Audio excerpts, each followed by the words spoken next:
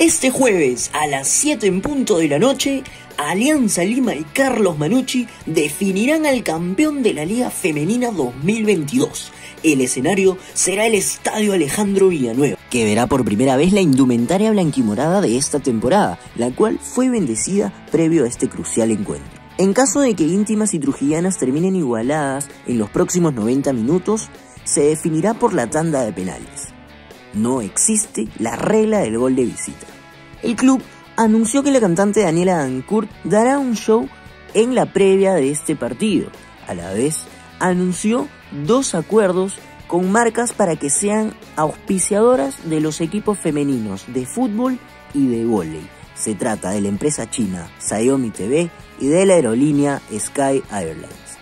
Entre las novedades del equipo se encuentra la inclusión de la capitana Alison Reyes en la convocatoria y volverá a estar disponible en caso de que el técnico Samir Mendoza así lo requiera.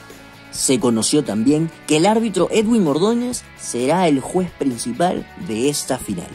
Y ahora escuchemos las declaraciones de Sandy Dorador.